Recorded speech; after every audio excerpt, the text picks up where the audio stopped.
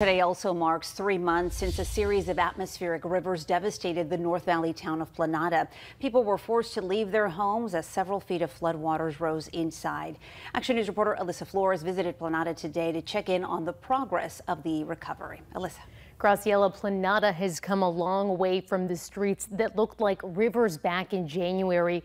Life is back to normal in town for many, but there are still some residents who don't know if they'll be able to return ever. It's been three months since floods devastated the small North Valley community of Planada.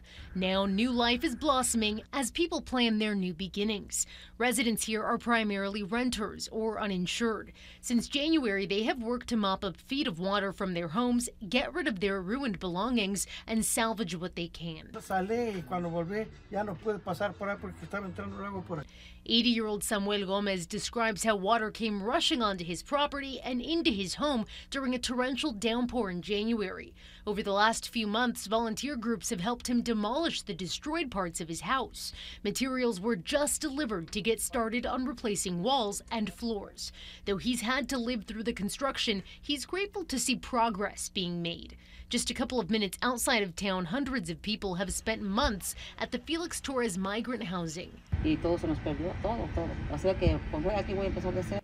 Maria and her kids are one of about 10 families whose stays were extended. The rental she lived in was flooded and is now being sold. She wants to return to Planada but has been struggling to find a new place. A few doors down, Omar Ramirez, his siblings, and parents are grateful for more time to determine their next steps. It's a little relief, not so much stress finding somewhere to go, but uh, definitely helps. They still don't know when flood repairs will be complete on the rental they had lived in for decades. Well, I've kind of passed there multiple times, like throughout the week, and I haven't seen like workers there like at all. The family wants to return to Planada but might need to relocate to Merced if nothing becomes available. Merced County officials say snowmelt in the recent weeks and months to come don't pose a significant threat to Planada. Still, sandbags remain in place outside some homes and businesses.